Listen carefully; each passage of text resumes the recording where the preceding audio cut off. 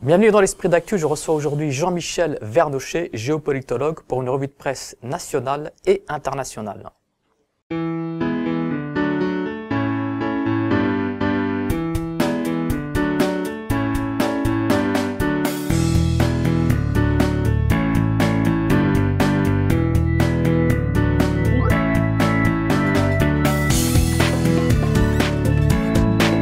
Bonjour à vous Jean-Michel Vernochet et bienvenue à l'Esprit d'Actu. Oui, bonjour à vous et bonjour à toutes et à tous. Alors on va commencer par la Syrie. D'ailleurs, la plupart des questions porteront sur la situation en Syrie. Alors mardi 28 mai, une décision importante a été prise. L'Union européenne a décidé de lever l'embargo à destination des rebelles syriens. Enfin, c'est une décision différée, c'est une décision de, moyen terme.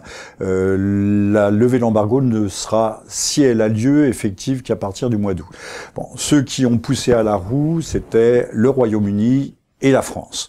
Mais par ailleurs, on a un certain nombre de, pays, euh, la Finlande, la Suède, euh, l'Irlande, l'Autriche, euh, qui s'y sont opposés mordicus pour des raisons de stabilité régionale, de paix internationale, et parce que le, les arguments en défaveur de ces livraisons d'armes sont multiples, divers et variés. Toujours est-il que Paris aujourd'hui adopte une sorte de profil bas en disant, en disant qu'il s'agit d'une décision politique, qu'elle n'est pas contraignante du point de vue juridique, c'est-à-dire qu'on n'obligera pas les autres partenaires de l'Union européenne à suivre la France et le Royaume-Uni si nécessaire. Mais justement, mais quand on parle des rebelles, qui sont ces rebelles? Que c'est des groupes djihadistes notamment? Ben, euh, qui auront ces armes. Monsieur Fabius, que j'entendais encore euh, ce matin à France Inter, euh, nous explique qu'il y aura une discrimination accentuée en ce qui concerne ces livraisons d'armes, qu'elles ne seront pas délivrées à ces groupes djihadistes qui sont inscrits, alors disait-il par les Nations Unies, bon, sur les listes d'organisations terroristes. Manque de chance, c'est qu'aujourd'hui la SL euh, l'armée syrienne libre fond comme neige au soleil ou comme beurre en broche, et euh, qu'il y a une migration massive euh, des éléments de, de l'ASL près d'un tiers, dit-on, euh, vers euh, les groupes euh, djihadistes et notamment Al-Nusra. D'abord parce qu'ils sont mieux équipés, ils sont mieux organisés, ils sont plus performants. Soutenus par le Qatar et l'Arabie Saoudite. Ils ont de l'argent et en plus ils remportent des victoires. Quand on se bat, on veut remporter des victoires. Voilà, on va dans le, on va du côté du plus fort. on dit qu'actuellement, ce serait plus de 3000 membres de la SL qui auraient rejoint Al-Nusra, ce qui aussi c'est une indication sur au fond l'absence de pertinence de cette euh, de cette ASL euh, qui ne représente pas grand-chose face aux aux 200 ou 300 000 hommes euh, de l'armée syrienne loyaliste, essentiellement composée, il faut bien le dire, d'appelés. On l'oublie toujours. Alors des combats ont lieu actuellement dans la ville de Qusayr, qui est une ville située à l'ouest de la Syrie, près de la frontière nord du Liban, donc une ville stratégique. Est-ce que pour vous c'est un tournant dans cette guerre? Alors c'est un tournant dans cette guerre et c'est un tournant dans les euh, dans la configuration des relations internationales et des rapports de force. Euh, les Russes ont ont reculé la, la, tenue de Genève 2, de cette conférence de, de, Genève euh, sur la Syrie, au moins jusqu'au 10 juin, en attendant que les choses se clarifient à Cousser, c'est-à-dire que le rapport de, de, force soit stabilisé sur le terrain. Mais il est clair qu'aujourd'hui, euh, les, les, forces loyalistes, assistées, appuyées par des éléments du Hezbollah, parce que le Hezbollah euh, souhaite plutôt que euh, la guerre soit à l'extérieur du Liban qu'à l'intérieur, et la préoccupation euh, de Hassan Nasrallah, secrétaire général du Hezbollah, c'est de maintenir le maximum de paix et de sécurité dans les frontières du Liban. Et il faut dire qu'il y a absolument 17, 17 unités d'à peu près 100 hommes du Hezbollah qui combattent à Kousser. Donc ce n'est pas rien. Hein. On voit bien qu'il y a de facto une régionalisation de la guerre. Justement, qu'est-ce que peut apporter cette application du Hezbollah, donc qui était reconnue par leur leader euh, Hassan Nasrallah? Alors pour le pour le Hezbollah, il est clair que euh, aider aujourd'hui euh, les aider aujourd'hui les forces loyalistes, les forces du régime de, de Damas, c'est euh, repousser la guerre hors de ses frontières. Je pense que c'est la, la, préoccupation au-delà même de la solidarité chiite. Alors on dit, Monsieur Fabius dit que le Hezbollah intervient à la demande express de, de Téhéran, parce que Monsieur Fabius, on voit bien où vont ses tropismes, a toujours intérêt à impliquer au maximum l'Iran, l'Iran, toujours l'Iran, puisque l'Iran aujourd'hui est une, euh, un, pays de la ligne du front, un État de la ligne du front, et, que la France d'ailleurs ne veut pas que... Alors, c'est contradictoire puisque la France ne veut pas que l'Iran euh, participe à ces négociations euh, de, de, Genève, tout en disant que l'Iran est impliqué aujourd'hui, l'Iran est responsable de tout, est impliqué dans la bataille de Kousser entre autres. Vous parlez justement de cette conférence de Genève qui aura lieu au mois de juin. Qu'est-ce qu'on peut attendre de cette conférence internationale? Bah, écoutez, euh, vu euh, l'état de, de, divergence, euh, d'opposition et de contradiction, je ne suis pas sûr qu'on puisse en attendre grand-chose. lundi soir, Monsieur Kerry a rencontré Monsieur Lavrov à un dîner. C'est de la diplomatie gastronomique en quelque sorte. C'est un mot de Monsieur Lelouch, ancien responsable pour les questions afghanes de, de Sarkozy on a débattu euh, du processus de, transition, euh, de, du maintien ou non dans ce processus, à l'intérieur de ce processus du président Bachar el-Assad.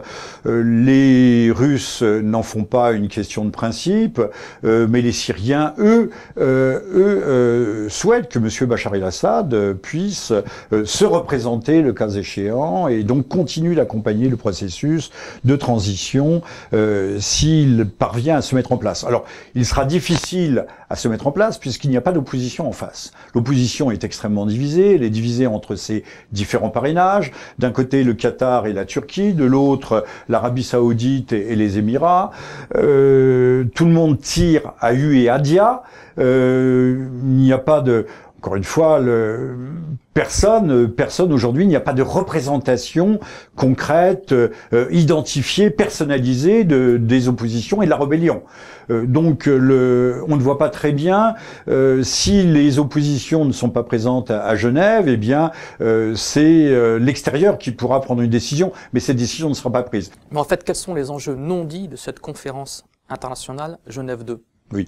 Alors, il y a les, les, les, acteurs euh, principaux, les protagonistes, et puis les acteurs périphériques. Les acteurs principaux, euh, ce n'est ni la France, euh, ni le Royaume-Uni, ni les qui font partie avec la Russie, la Chine, etc., des cinq membres permanents qui seront à Genève, du, des cinq membres permanents du Conseil de sécurité. En fait, c'est un débat entre Moscou et Washington.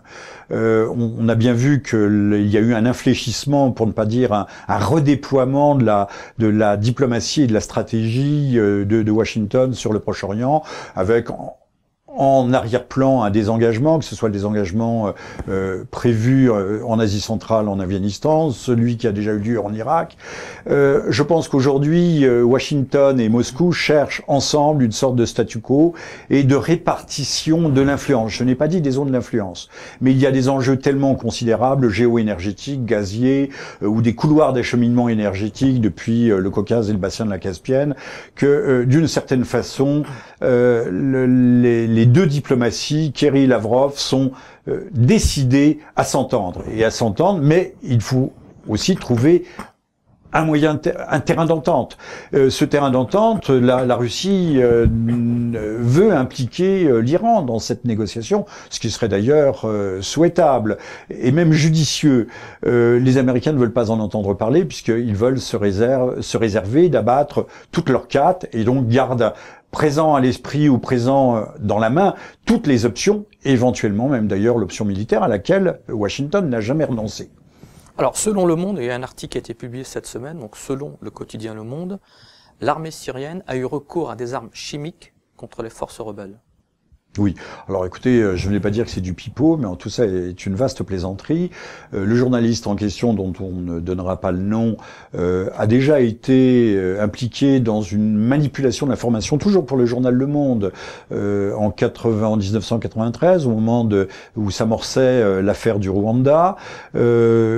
certains vont jusqu'à penser qu'il pourrait être un agent des, services français, double casquette, pourquoi pas. On, a déjà vu des cas, notamment dans le au début, au démarrage du conflit syrien, on a vu des, une journaliste qui avait été blessée, euh, qui avait disparu aussi lorsqu'elle a été euh, exfiltrée et rapatriée en France, puis qui a réapparu. Euh, mais les, la légende journalistique s'écaille ou s'effrite. tous ceux qui ont pu examiner les symptômes, les analyser, disent que ça ne correspond pas à, à, une attaque par le gaz sarin. Il y a des symptômes d'étouffement. Enfin bref, le journaliste dit qu'il a lui-même été touché. Alors bien sûr, il faudra un gaz sarin extrêmement dilué. Si on se, si on se réfère, si on se rapporte et si on se remémore l'attaque au gaz sarin dans le métro de Tokyo par la secte Aoum, euh, tout le monde n'était pas mort. Il y avait eu d'ailleurs un nombre limité de, de, cadavres, mais beaucoup avaient été intoxiqués.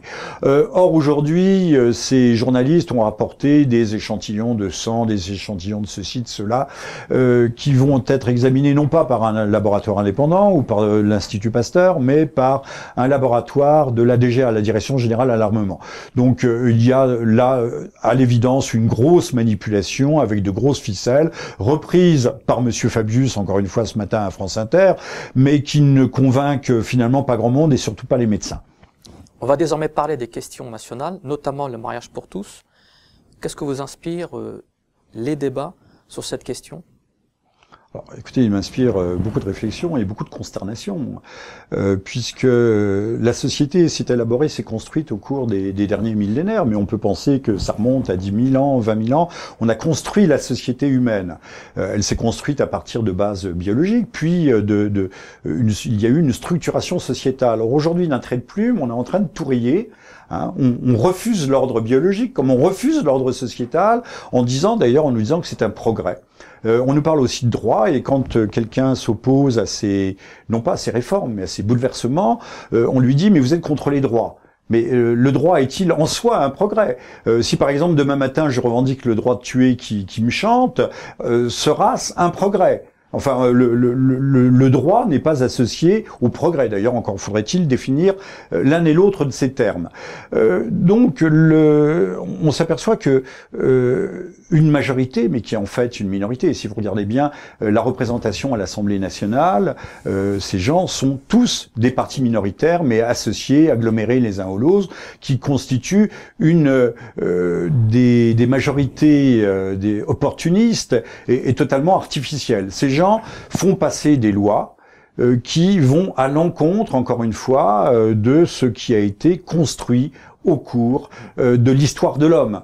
Et, on vient nous dire que la distinction, par exemple, la distinction entre les sexes est quelque chose d'artificiel, de quelque chose d'arbitraire, que c'est une construction culturelle comme si la biologie était quelque chose de culturel, et donc on peut modifier ça à volonté.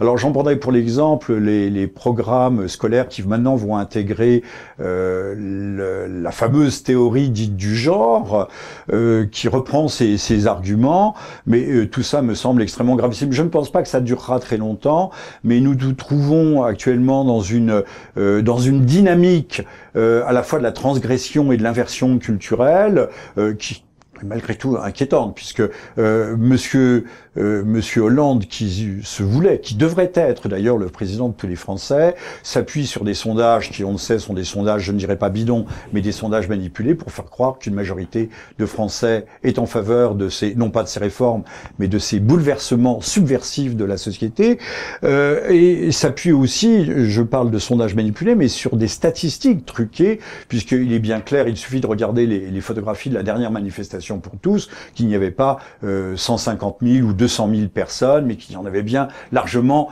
un bon million. Eh bien, euh, je pense que euh, dès lors que le mensonge, le, mensonge systématique, pour ne pas dire le mensonge universel, devient un instrument politique, un outil politique utilisé de façon méthodique et, et, récurrente, euh, nous sommes franchement très très mal partis. Alors, vous êtes un passionné de cinéma. Vous affirmez au sujet du Festival de Cannes qu'il a été cette année le promoteur de toutes les déviances. Alors, le promoteur de toutes les déviances, ben oui, écoutez, si vous regardez, il y avait Monsieur Polanski qui autrefois avait été convaincu d'avoir euh, drogué euh, euh, une mineure, même si cette mineure n'était pas, si cette nymphette n'était pas une vierge, une pure vierge, il l'a droguée, sodomisée, violée.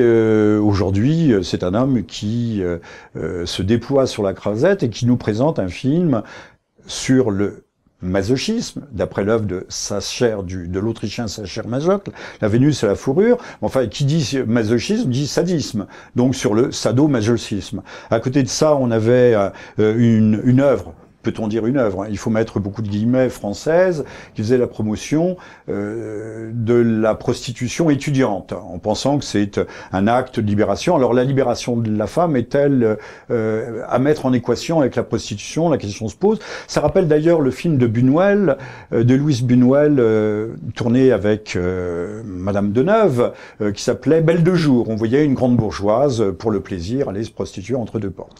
Et, bien là, on prend le, le même thème, mais on l'aggrave. Et d'ailleurs, euh, euh, cette idée, cette idée de prostitution étudiante, comme l'expérience, on dit une jeune fille, mais les jeunes filles autrefois, ce n'avait pas ce sens-là en français, d'une jeune femme, euh, d'une jeune femme émancipée, me semble être un, excessivement mauvais exemple. De même que dans le film, le, film, c'est qui s'appelle La vie d'Adèle, voilà, d'Abdelhamid Keshish, franco-tunisien ou un Tunisien tout court, la vie d'Adèle, euh, même si l'actrice est majeure, euh, elle joue le rôle d'une mineure, et c'est ce qu'on appelait autrefois incitation à la débauche de mineurs, euh, puisque il y avait dans ma jeunesse, il y avait des lois protégeant la, jeunesse aussi bien. Regardez des illustrés des années 50 ou des années 60, vous verrez dans quel français c'était écrit. Et Strauss-Kahn qui monte euh, les marches euh, du festival C'est, On est bien là d'ailleurs dans le, dans le cadre, c'est assez étincelant, on est dans le cadre d'une culture euh, officielle, promotionnelle des politiques. Est-ce tout à fait un hasard si Monsieur euh, Kishish, euh, qui a été décoré d'ailleurs par Monsieur Ben Ali autrefois, et qui dédie son film sur une relation euh, homosexuelle entre deux femmes, le, il le dédie à la jeunesse tunisienne en lui montrant peut-être par là la voie de l'émancipation et de la démocratie. Peut-on réduire la démocratie et l'émancipation à la liberté sexuelle, à une liberté sexuelle débridée? Je, pense que la question se pose. Une dernière question sur l'affaire euh, Tapie-Lagarde bah écoutez, euh, vous venez d'évoquer euh, Monsieur Strauss-Kahn qui montait de façon rayonnante, euh, le, les escaliers couverts d'un tapis rouge de Cannes, ce qui est assez extraordinaire. On montre bien, encore une fois, que c'est la rencontre euh, de toutes les transgressions et, de toutes les inversions, parce que euh, Madame Lagarde, elle, n'a pas la dépravation de Monsieur Strauss-Kahn. On peut dire le mot de dépravation sans, sans, sans, choquer. C'est le mot exact, ce n'est pas un mot exagéré.